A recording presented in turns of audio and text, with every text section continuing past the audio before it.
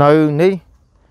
มันខ្វះទឹកប្រើទេនៅលើភ្នំ តែបញ្ហាវាពិបាកភ្លើង ចង់សាកទូរស័ព្ទស្អីតតែចេញទៅឆ្ងាយណាហើយតែស្រួលអាកាសធាតុល្អ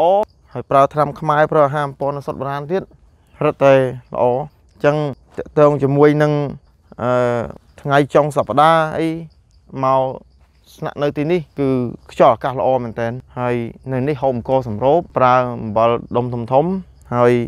ប្រើស្ករត្នោតហើយនឹងប្រើអង្គសម្រូបជាប្រចាំហើយបន្លែអីនៅលើភ្នំនេះទាំងអស់អញ្ចឹង